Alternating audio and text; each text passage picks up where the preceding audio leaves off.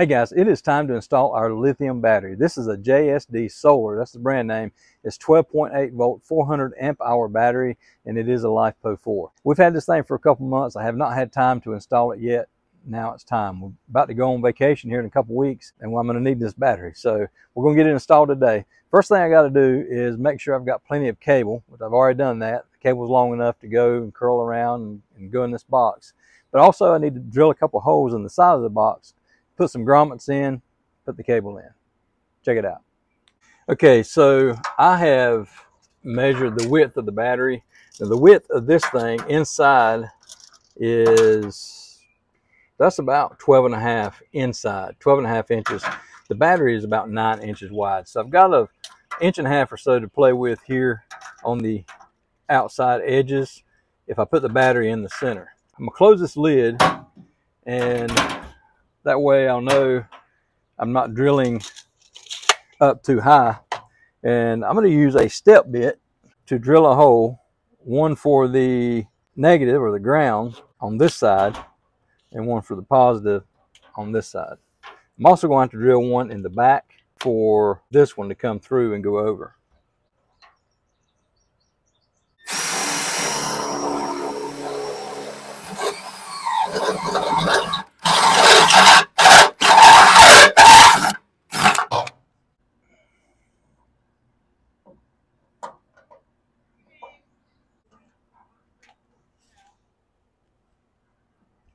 The grommets I'm using are from Harbor Freight. I picked those up a couple years ago. And I'm using the 7 16th by 3 quarter. There was actually three of those, and that's what I need. I'm drilling three holes. The grommets actually go in pretty easy, but the cable, you may need to use a little Vaseline on them. That's what I did. Lubed up this cable, slid it in. So drilling through the back of the box there toward the trailer, you have to be really careful and make sure you don't go in and hit the trailer.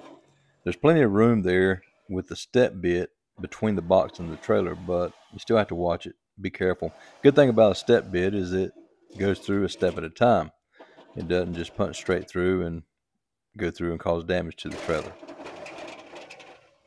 Now due to the location, the tight fit and very little room to work with, I was not able to install the grommet and then install the cable through the grommet. I had to install the cable through the hole, put the grommet around the cable, and then install the grommet into the hole, which was no easy task, but I made it work. Okay, so weight on a travel trailer is a big topic, and I know that's probably a question. How much does my new battery weigh? Well, here are the weights of the old batteries. The first one, 45.8 pounds. The next one, 41 pounds. You'll see, there you go.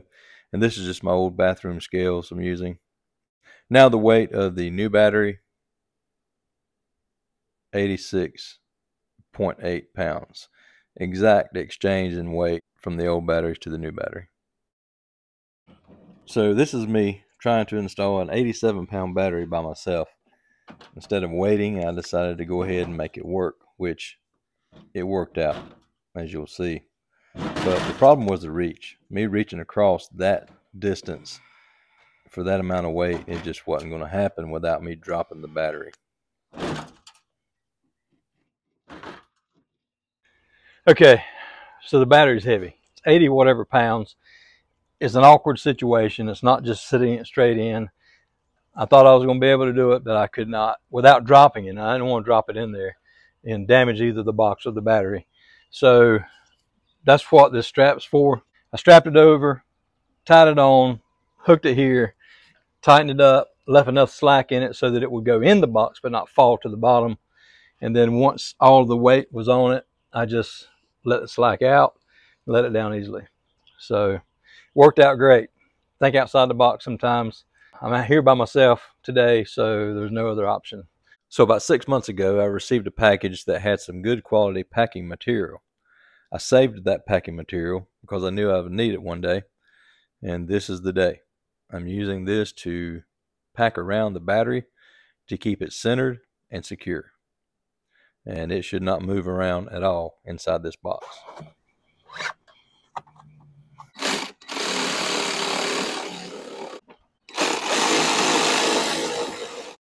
Here you see me cautiously lowering the lid of the box. I know there's enough room, but I want to be sure before I actually close the lid. You don't want to close the lid of a metal box onto the top of a positive and negative terminal. The event that would follow would be very unpleasant. Always use caution when working with batteries. Since the box is mounted as it is, these chains are not necessary. And to reduce the risk of this chain hitting the positive terminal, I'm going to go ahead and remove it and I'll remove the other one as well. Okay, one last thing and this thing's complete. I took extra precautions here. I cut a piece of plastic that rides right there on top and it's a snug fit when I put it in there. You may have noticed where these chains were connected, this part drops down and it's just for those chains, but it's really close to the negative terminal, not the positive terminal at all it sits right around this area but just in case for kicks and giggles right there. That'll ride right there. So now this project is safe secure and complete. Okay one of my main concerns was will this controller onboard controller charge the lithium battery I reached out to WFCO. I told them that my model number for our current controller is WF9855. The representative there was very helpful, very nice. Customer service was great.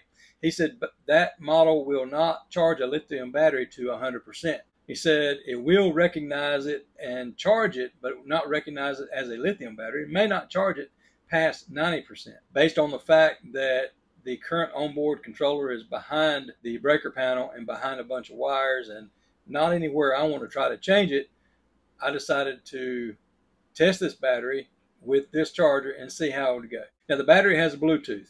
I got an app on my phone and I'm able to look at the battery on my phone or at the app and see what the charge is at the time. I turned the battery disconnect back to green and at that point I heard the refrigerator kick on. I then got the app, looked at it. This is Thursday, June 13th at 1.14 p.m and it showed 48% with 20 hours and 6 minutes left on the battery. So after checking the battery, seeing it at 48%, then hooking it to power, I decided to come back at least 24 hours later to check it again. So almost 30 hours later, I came back on June 14th at 6.43 p.m. It showed 97% charged, 18 minutes left to charge. Later that same evening, I came back at 10.42 p.m. to check it. It was 100% charged. So that's charged to 100% in right around 30 hours. So at this point, I want to discharge it. I want to run that refrigerator on that battery and see how long I can go. So on Father's Day, June 16th, 12:48 p.m., I disconnect the power. At that point, it shows 99% charged, 78 hours and 54 minutes left to empty. I wanted to wait at least 24 hours before I checked it again. Monday, June 17th at 3:33 p.m. Now this is close to 27 hours of runtime on just the refrigerator. It showed 72% with 66 hours and 36 minutes left to empty. 72% after 27 hours of runtime, that's going to be about 100 amp hours per day or 25% per 24 hours. I came back Tuesday, June 18th at 1:10 p.m. It showed 50% with 50 hours 48 minutes left to empty just over 48 hours after disconnecting from shore power. So again, that's about 25% or 100 amp hours per 24 hours. Based on that, if that's accurate, I would feel comfortable going 72 hours, three full days without a charge, which should leave me around 25%. I could probably go longer than that. I wouldn't need to. So I really only need a max of about 36 hours between charges out of that battery while we're dry camping. So, guys, I hope this has been helpful, somewhat informative, and if nothing else, entertaining. Thank you so much for watching. Have a great day.